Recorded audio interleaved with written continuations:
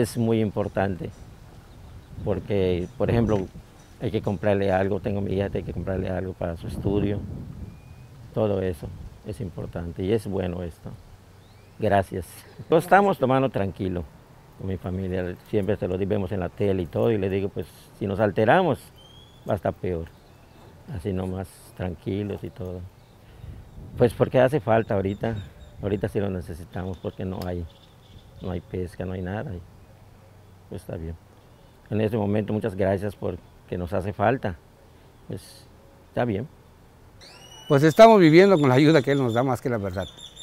Manda lo que es la mercancía, nos manda el dinerito. Pues lo estiramos hasta donde se pueda para poder seguir adelante.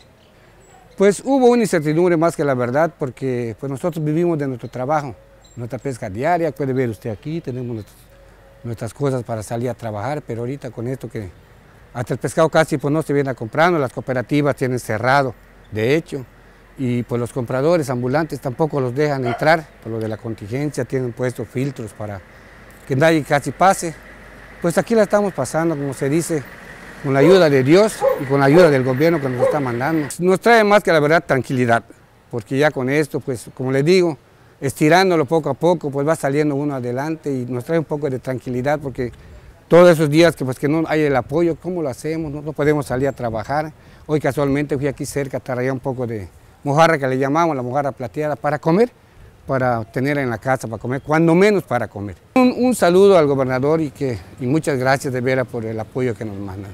Como te dice, tarde pero a la hora para salir adelante en estos días tan difíciles que tenemos.